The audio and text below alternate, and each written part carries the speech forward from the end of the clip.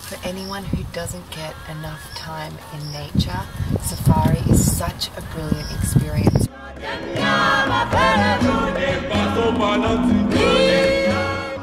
My favourite part about safari is coming back from the game drive and luxuriating in these incredible lodges. You get a few hours to just nap, have a drink, have a four course meal, the best.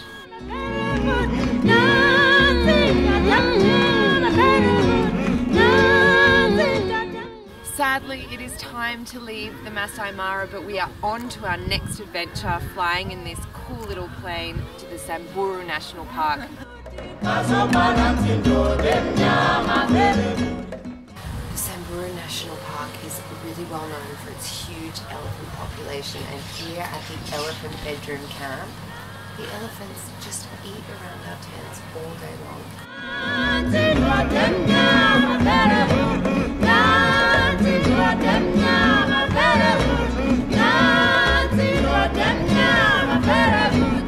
Paso balanti do dem